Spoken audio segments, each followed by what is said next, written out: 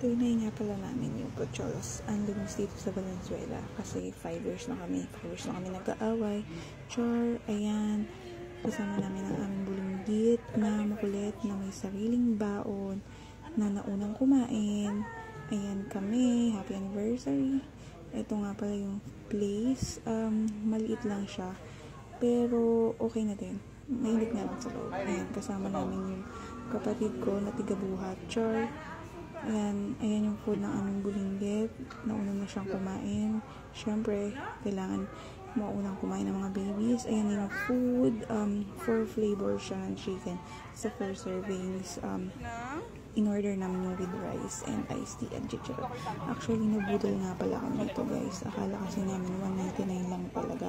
Yun pala 199 lang kapag chicken lang yung order mo. So, ayun, ganun talaga pag first time. Ayan, kain na si Bulinggit and um, kami din. So, enjoy sa food.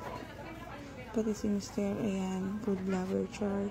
Ayan, lumabas na si Mr. kasi busog na siya kasama ang aming bulinggit at kami yung tiga-ubos ang kapatid ko. Yun lang.